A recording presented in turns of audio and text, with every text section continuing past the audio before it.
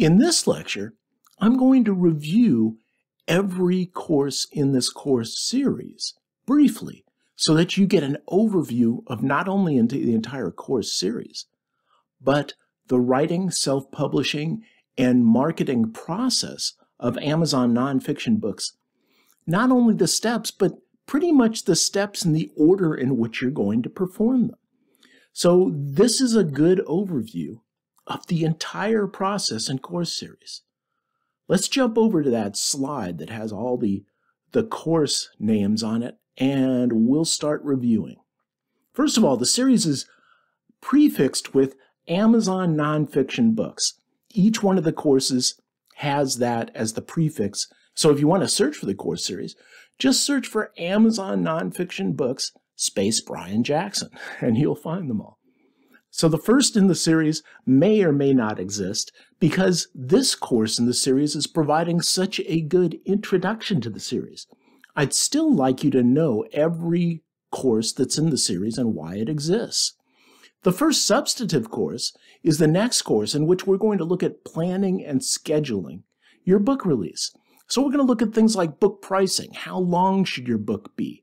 How often should you release them? Why you should always write in a series. And then I'm going to show you a web application that I wrote called Book Calculator that will actually calculate how long it takes you to write a book based on certain input. Next, we're going to look at researching with Microsoft Notes. This is probably my weakest topic, research. So I'm going to have to buff up to put this together. Following that, we're going to do an introduction to Microsoft Word where I show you how to set up my Word screen and how to configure Word for writing nonfiction. We're going to use numbered chapter headings and one blank line between left justified paragraphs. So we're going to look at how to do all of that in Word.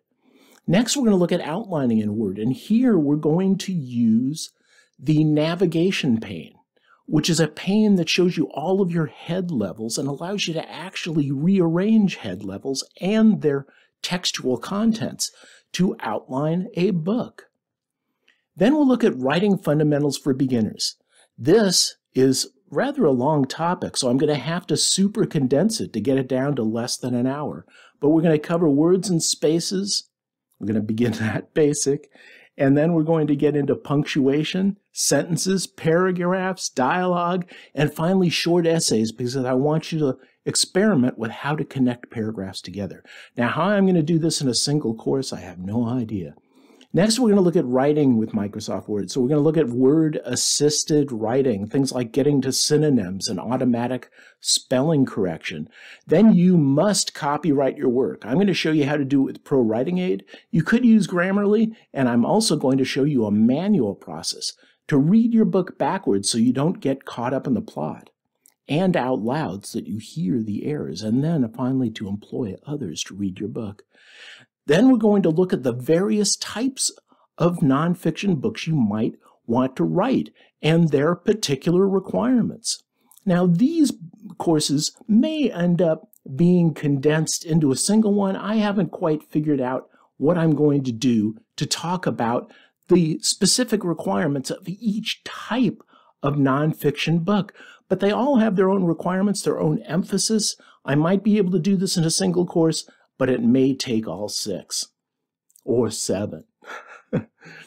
then we're going to look at creating a book cover with PowerPoint. This is where we're beginning to get into self-publishing. So we've done the writing part and the planning and so on. Now we're getting into self-publishing and with the creation of a book cover. And I love to use PowerPoint as a general purpose graphics tool. I'm going to show you how to do that. Then formatting your manuscript for publication with Microsoft Word. All the things to get the uh, the uh, margins correct, the page size, all of that stuff, making sure that you don't have excess spaces that'll create blank pages, uh, all that good stuff for cleaning up your document before publishing. And then we're going to look at self-publishing a Kindle ebook with KDP, and immediately after that, we're going to do a print on demand paperback in KDP. Now, you won't sell many paperbacks, you'll sell more Kindle ebooks.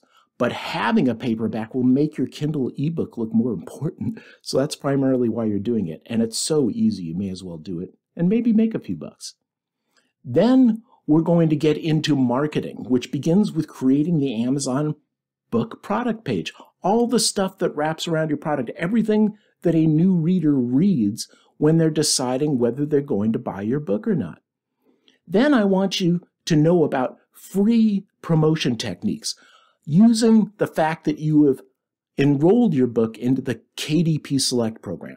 That's kind of key to my marketing plans. If you don't want to enroll in KDP Select, then many of my promotional techniques in this particular course will not apply, but I don't see any reason why you wouldn't.